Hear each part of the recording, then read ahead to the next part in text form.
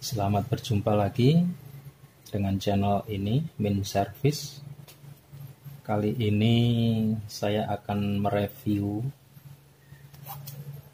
uh, alat servis ya, penunjang servis yaitu multitester dan ini adalah multitester digital merek Aditech. Barusan datang paketnya. Langsung saja kita buka.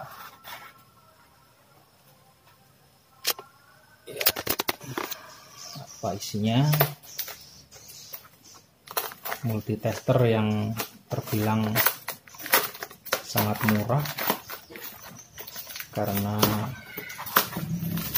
hanya untuk menunjang saja ya multitester utama. Kalau saya pribadi karena saya lebih ini apa sudah terbiasa menggunakan multitester analog uh, untuk saat ini saya lebih mengandalkan multitester analog ya timbang digital karena mungkin belum terbiasa dengan multitester digital.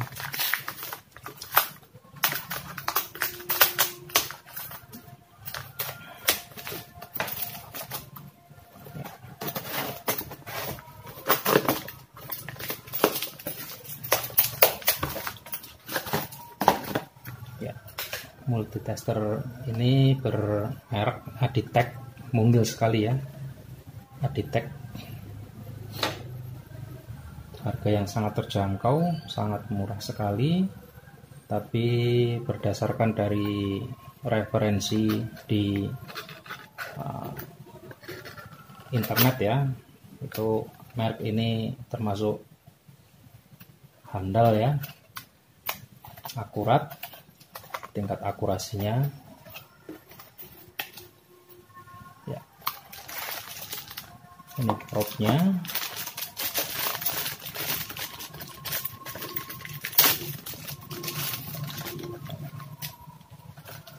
ya dilihat dari propnya memang saya bisa katakan ini bagus propnya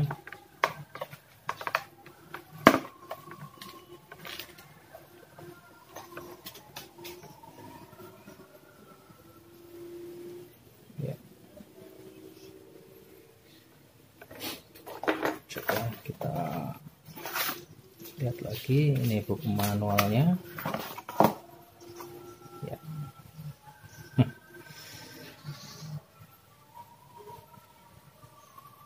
Ini multitesternya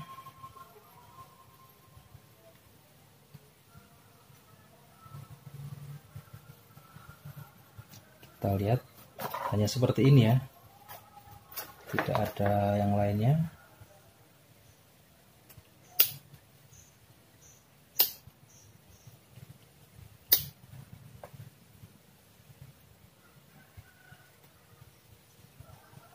sepertinya belum ada baterainya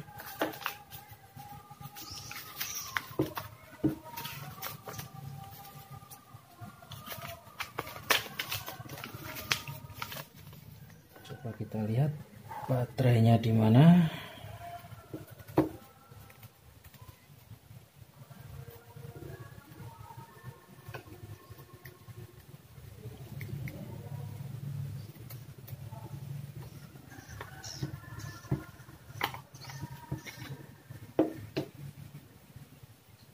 ya ringan sekali ya. Apakah memang belum ada baterainya? Ini ada bautnya coba kita buka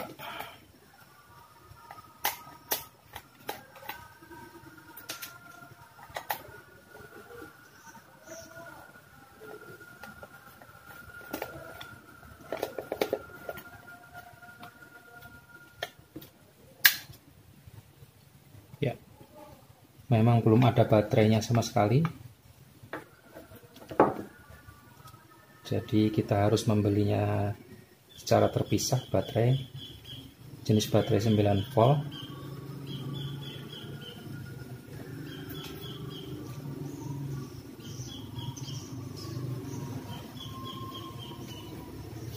Oke, kita cari baterai dulu.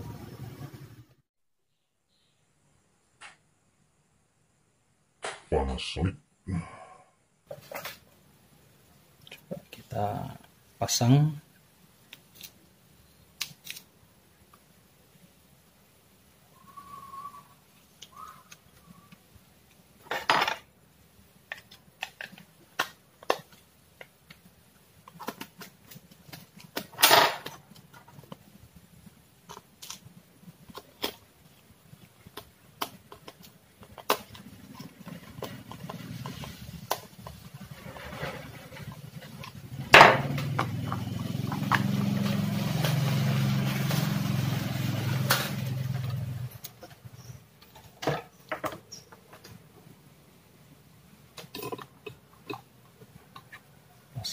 propnya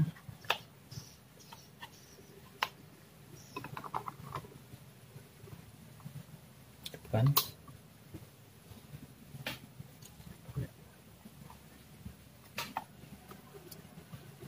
Ada lampunya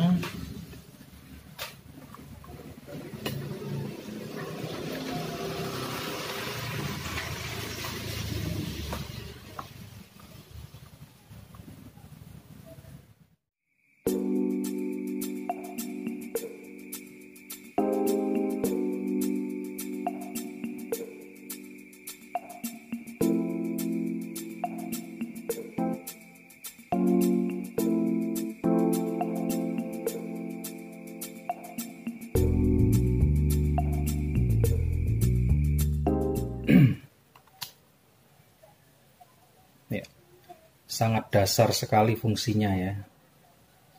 Yaitu hanya untuk mengukur tegangan baik DC maupun AC ya.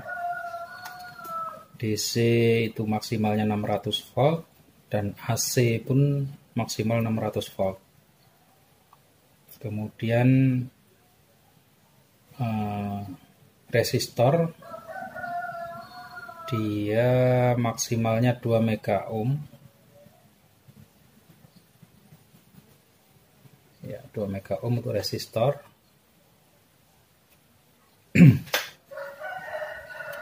Dan fungsi yang lain ini HFE kemudian ampere ini bisa dikatakan sangat jarang sekali saya menggunakannya.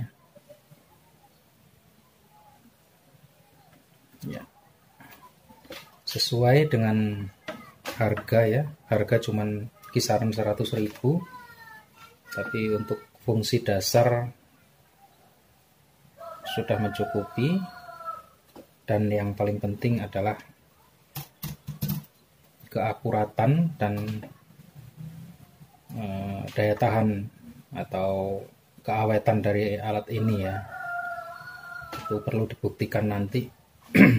Seperti apa? Oke langsung saja kita pakai untuk mengukur. Pertama kali kita pakai untuk mengukur resistor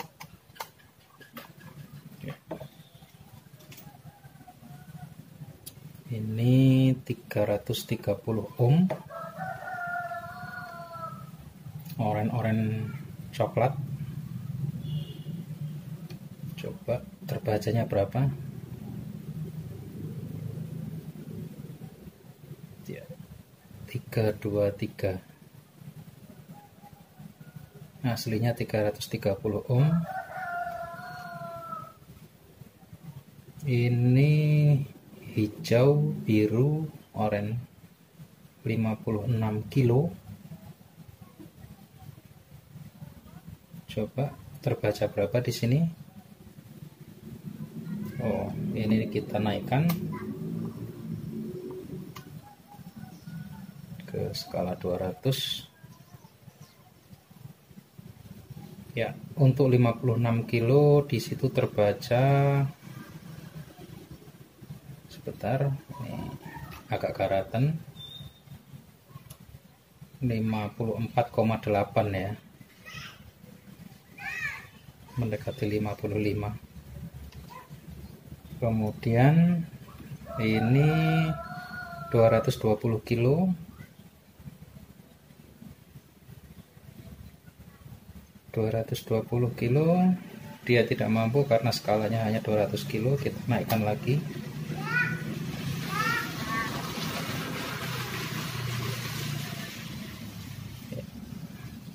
220 kilo terbaca 217 kilo. Tetap ada selisih ya. Karena memang resistor itu ada nilai toleransi juga ketidaktepatan nilai.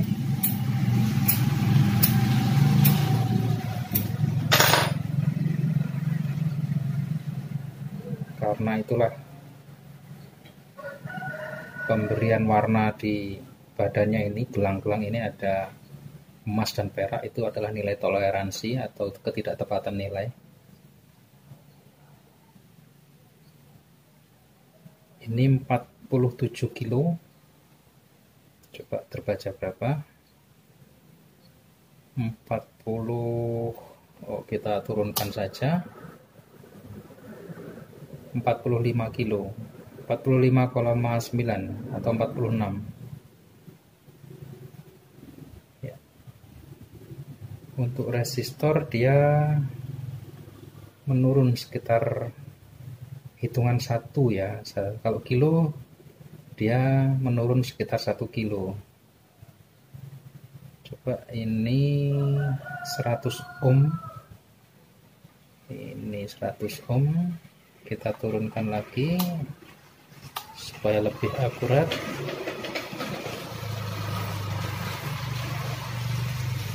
untuk 100 ohm dia terbaca 98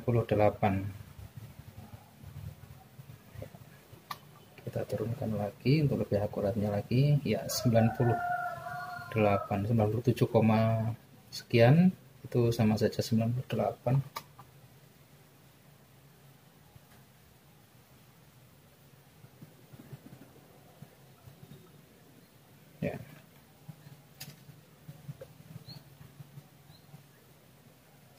ini kembali yang 330 tadi dia menjadi 324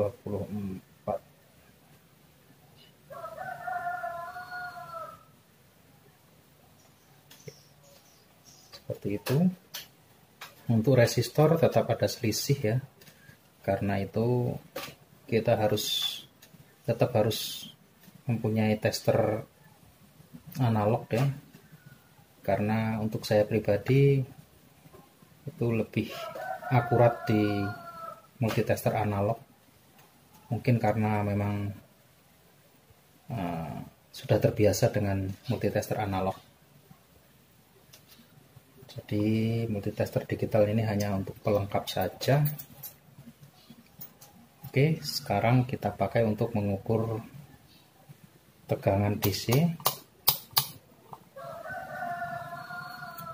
ini baterai 1,5 volt. Kita arahkan ke dua saja. Karena kita pakai skalanya itu kita pakai yang mendekati dari alat yang akan kita ukur. Ya. Untuk voltase 1,5 dia terbaca 1,6 coba yang lainnya ini ada 4 biji ini ada yang 1,5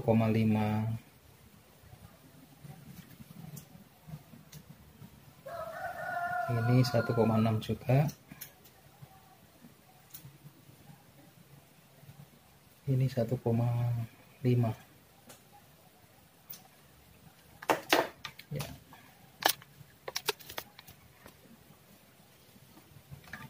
Kemudian kita coba ini adaptor untuk uh, kamera camcorder ya.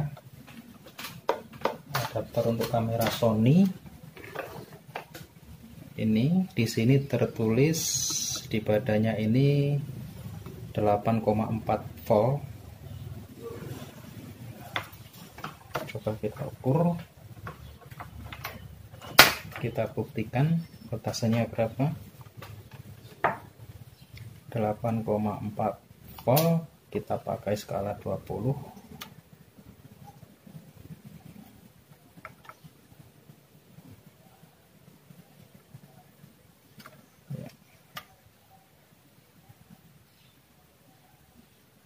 8,39 ya.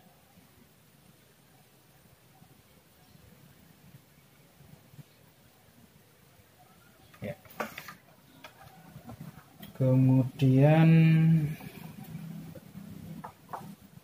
ini baterai baterai Nikon.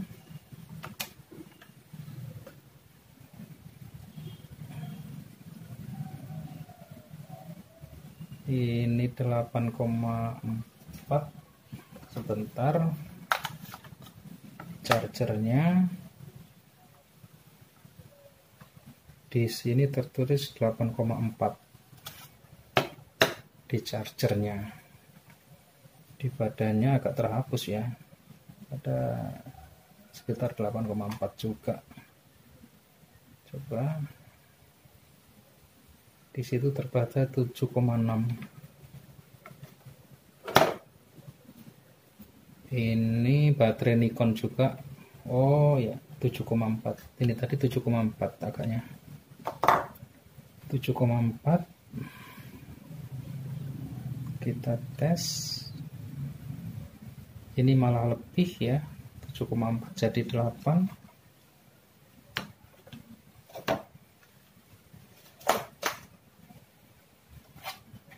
7,4 jadi 8 kemudian ini adaptor untuk printer Canon. Ini 24 volt coba kita tes saja.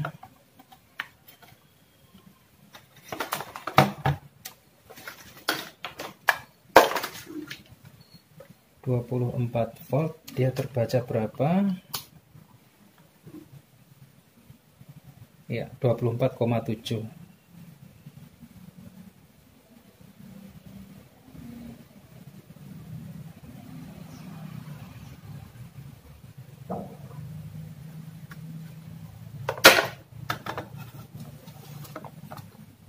ya. Itu tadi pengukuran-pengukuran. Ada lebih dan kurang ya. Untuk resistor dia lebih kecil ya nilainya. Tapi untuk tegangan ada yang pas dan ada yang lebih besar. Tuh karena tidak ada pembanding ya. Kita hanya membandingkan dengan tulisan yang tertera di badannya. Itu ada yang pas dan ada yang kurang juga. Tapi selisihnya tidak terlalu banyak.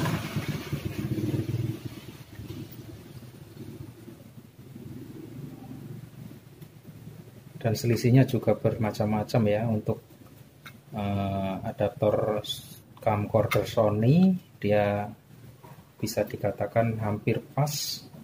Di situ 8,4 terbacanya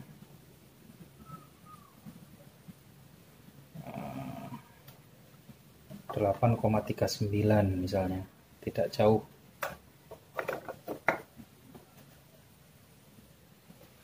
Oke seperti itu ya. Nah, untuk fungsi-fungsi dasar ini sudah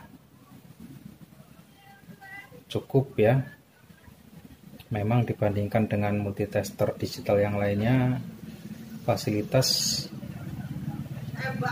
jauh sekali karena di multitester yang generasi sekarang itu sudah ada yang untuk mengukur kapasitor, kemudian mengukur frekuensi, hertz ya, kemudian ada lagi uh, mengukur suhu juga. Jadi ini tanpa fungsi-fungsi itu ya. Cuman tergantung kitanya.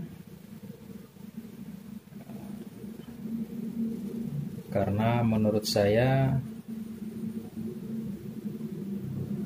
ini sudah cukup menurut saya ya untuk untuk fungsi-fungsi itu karena yang sering dipakai memang hanya itu itulah.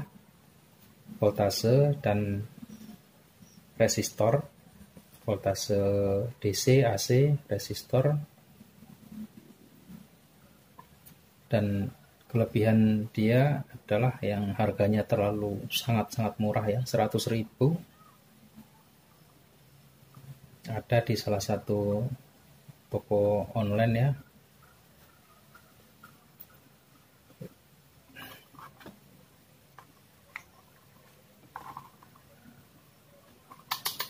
ada yang terlupa tadi untuk mengukur AC listrik PLN coba kita tes.